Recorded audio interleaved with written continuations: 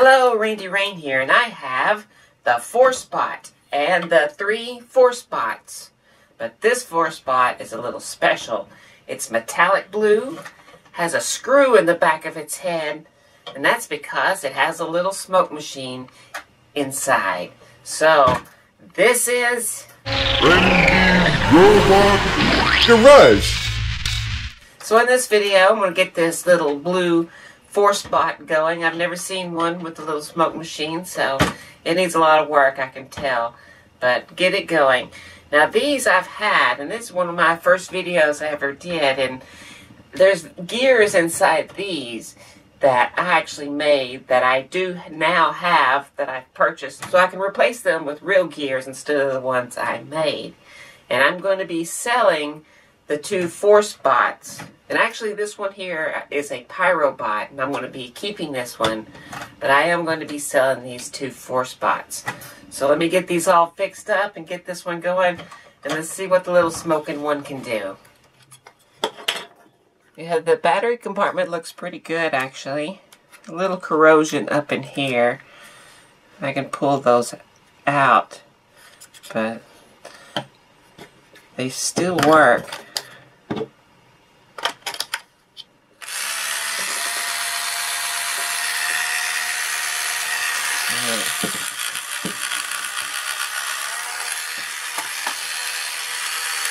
I didn't see any smoke that time, but I swear I think I've seen smoke before. Alright, let's open this bad boy up.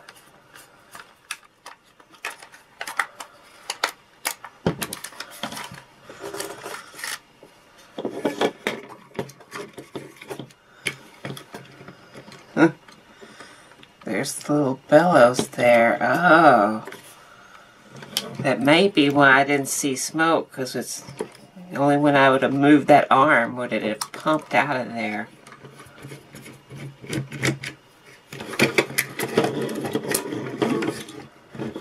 Okay, it's best to start desoldering.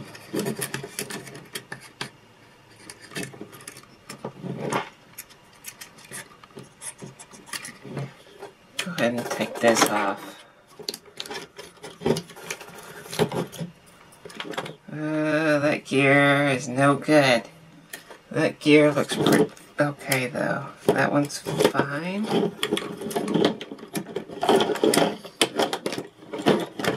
Let's go into the head.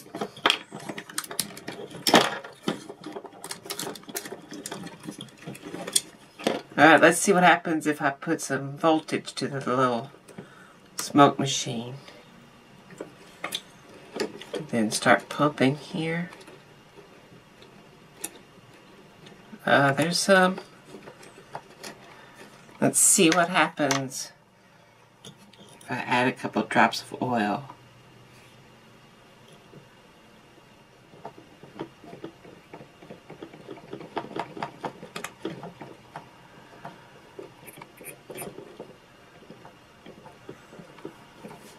Well, that works.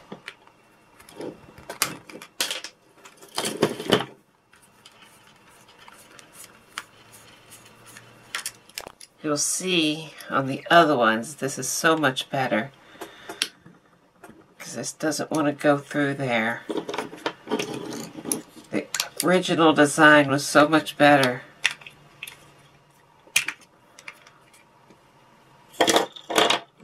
So that's a tin tooth and it is definitely split. And this one is splitting. I can see a crack forming.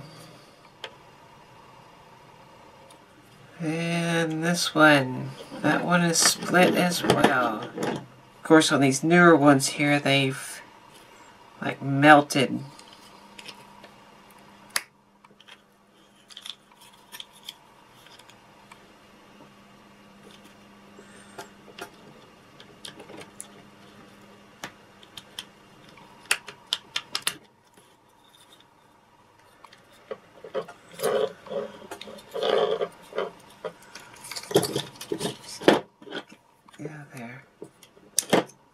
Because I'm sure, oh yeah.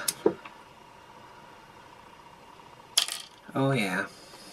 A lot of split gears here. Okay, we'll start with this shaft here.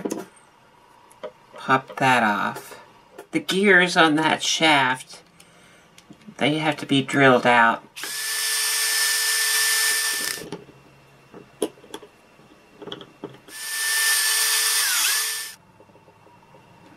And then down here, I have to use the 8 tooth with the lip on it.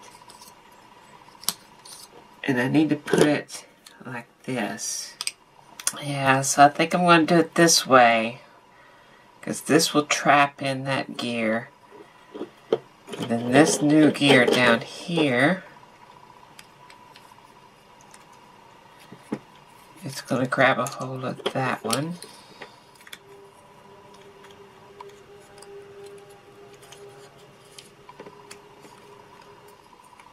That'll be okay. Because the gear on the motor is a 9 tooth. And it should have the lip on it to keep this one in. But instead I'm relying it on this one. So the rest of those gears look good. So if I slip this guy under there.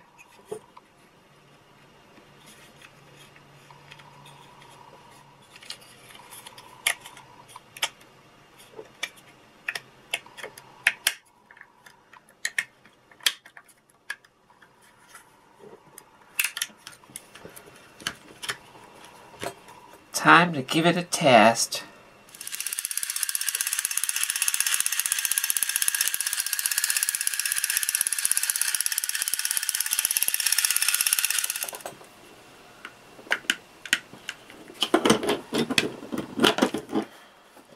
Looking at looking at this broken gear here. I don't know if I have this gear. Yeah, so that's a bigger gear, and I don't have that gear. And it goes onto this thing, which is bigger, but you can see it's starting to crack. I do have this one. Put that on.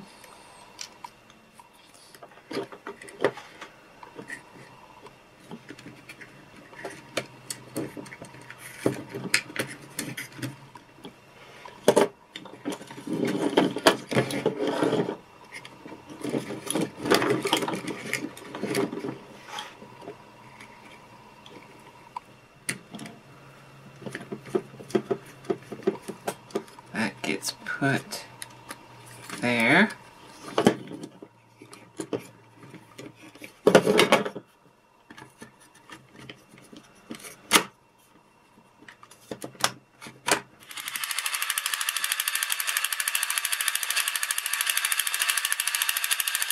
So now I'm down to this guy. I changed out that crown gear because the other one had a bigger teeth. And then the gear that it goes to was cracked. And I don't have that so I changed it out. And I figured out that this gear I drilled it out so that this gear would spin just to look at it. So if you hold it there you can see that that gear is going to connect with that one but it's too wide because it goes underneath this hump but the hump is really not that big underneath. So I need to shave down the gear to fit in there and correct size for the shaft. You can set up a jig on the drill press to make the hole more center and straight. And then just a belt sander to take it down to size.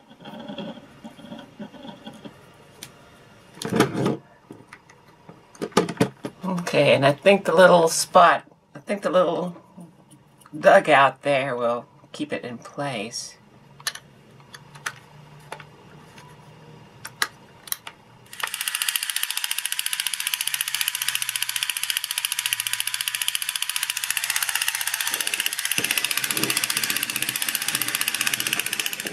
So it leaves these guys. Here's the Pyrobot as I, that's my replacement over here. I can see this is a replacement of mine as well. Mm, and I can see gears down in there that I made. One of these I've already checked has the same broken gear for that hooks to this one. So I'm going to fix all of these just like I did the other one. Yeah, this one has this design, so you don't have to take these off.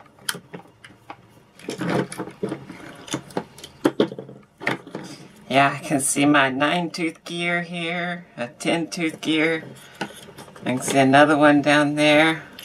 Yeah, look what happened to my gear. I'm Also, I think I can do the other configuration here. Get rid of that one. That's my 10 tooth um, I redid. If I take this off, turn this upside down, there, it's going to set in like that. This gear is down here. It's going to get this 8 tooth gear here it's going to lock it into place because it has the lip on it. Okay, I believe that will work. Now I can put a regular 9-tooth gear on here.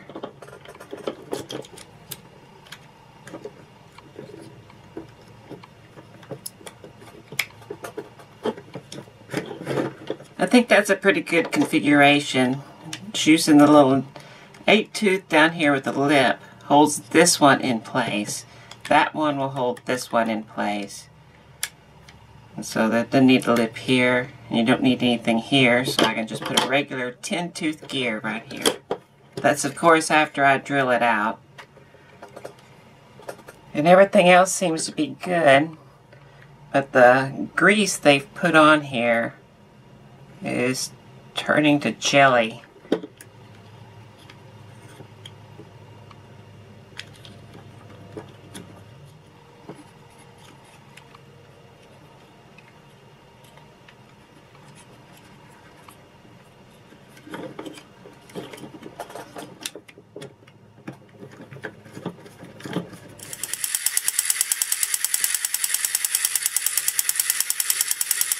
Uh-oh. There's a tab broken off on this one. Have to move on for a second. Move to the next one.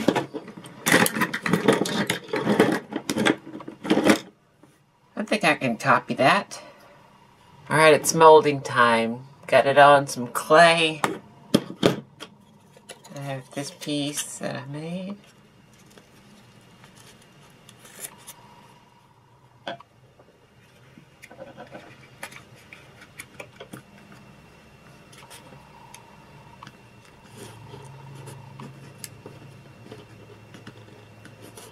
Alright, I'm using this Dragon Skin NV10.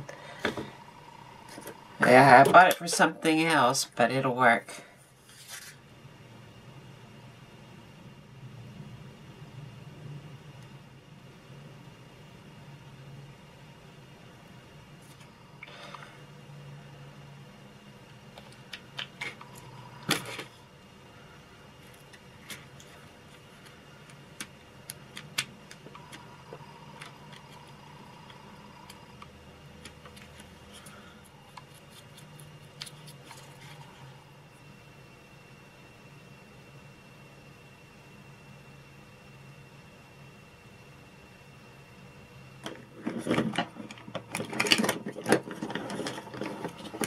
Hmm, there's a gear here that I made.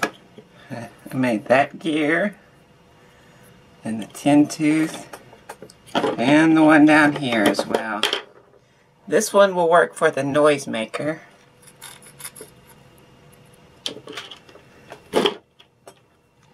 And that has to trap that gear like that. And that one won't be able to rise up. So that will trap that one in there. And then on the motor is a 9-tooth gear. I think that's the best way.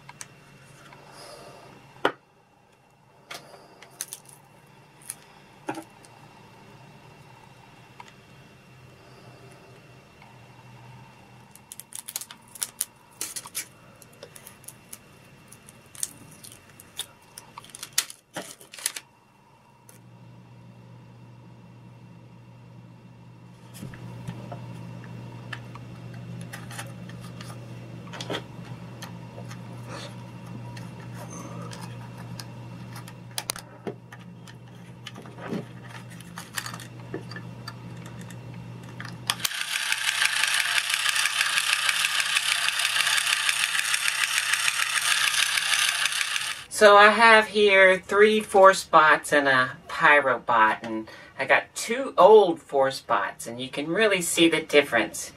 I had to adjust all the gears just perfectly to even get these to go and you'll you'll see. Now all of these are all geared the exact same way and they all have the new gear that I put down in here. Now there may be some gear ratio changes from the way it worked previously but you'll see what I mean. When I turn this one on,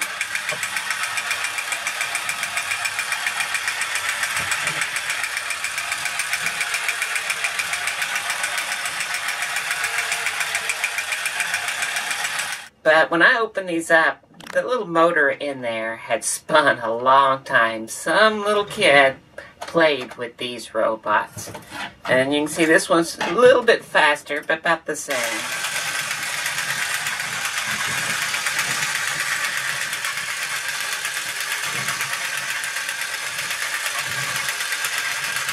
You can see that one's a little bit better, but still, this one was played with an awful lot as well.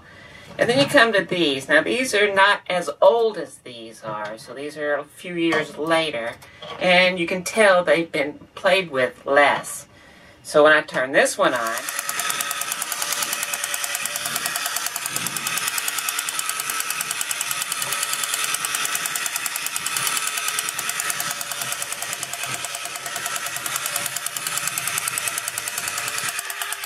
And then you're down to this guy here. Now, I've never seen one like this. It's the only one I've ever seen.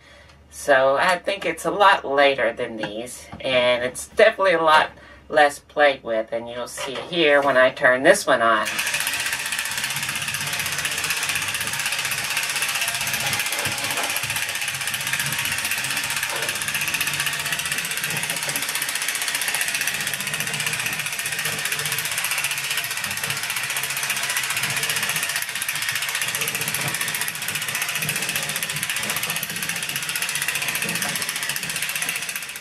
Now that's a ForceBot right there. And it does put out a little bit of smoke. You can kind of see it. Nothing spectacular or anything.